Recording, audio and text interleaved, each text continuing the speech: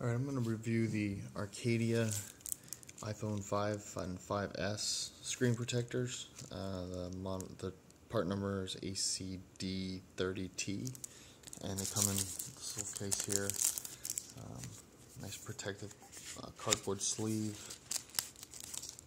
You can see each one comes with um, a microfiber cloth for cleaning. Uh, this is the dust removal sticker I believe. So it's for, and then it's a microfiber cloth, and then you get three of the actual screen protectors. Uh, and then they've got these tabs for actually installing them. So there's tabs on the end here and then down here. I'm going to try, I've got two phones, I'm going to install one uh, using their tabs, and I'm going to install one the other method uh, that I've used, which is the tape, and then you fold it back over to align it. So I'm going to go through and install them, and I'll take a quick review of how these work, uh, and then I'll uh, review them compared to some of the other ones I've had, uh, some of the tempered glass ones, and some of the other HD clear, which is what these are. So they'll be reflective and stuff. So I'll come back and we'll get these undone and get these all cleaned up, and we'll start doing the install. So along with this, uh, you can see the how to use instructions here. Let's see if I can focus on these. Um, read all steps. Yeah, remove excess screen existing screen protector don't have one clean the iphone screen thoroughly um, I used the microfiber cloth that was included and you just go through and clean up the screen make sure it's all dust free uh, on these two phones this one here uh, the 5C is is a hand-me-down so you, I don't know if you can see it it's got some scratches and stuff on it so it's not in perfect shape. This one was a new phone for me uh, so this one should be in really good shape. So we'll go through and clean these and then we'll go through and do the install I'm going to start um, using the method recommended on this, the 5C. So the the steps are clean it and then you basically take it off and do it in a dust-free environment. So you, you take uh, step one on this number one tab here is take off the backing. Um, if you, I don't know if we can read that really well. It says, uh, please peel off the protective film before application. So you take off the protective film then you should have a dust-free phone, and then you line these up here, and then drop it on top of the phone. That's how it's supposed to work. Um, one thing I was a, I didn't see in, was a um, usually you get like a little plastic thing. You can use a credit card. Usually they'll they'll include one in the other ones that I bought where you can actually wipe it across the screen to get it to fit and, and no bubbles and everything, and you get the air bubbles out.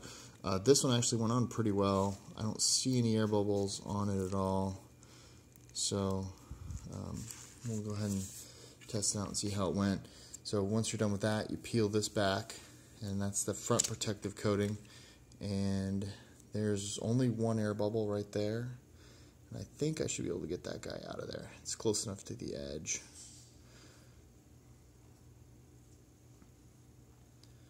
Yeah, I think that's out just with using my finger. So, uh, not really necessary to have the, the thing. Um, alignment, I'd say it's really hard to do the alignment when you're lining it up that way. I mean, you can see up here, that's not quite on.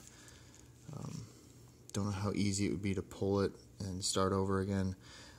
Um, the method I like to use to install these is take it out of the case like take it out of the bag.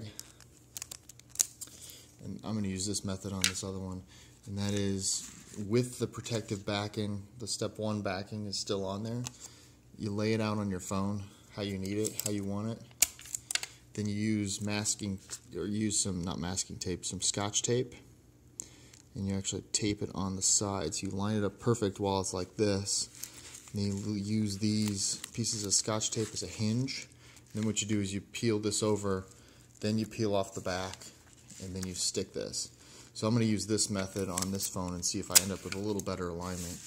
Um, I've used this on a couple of different ones.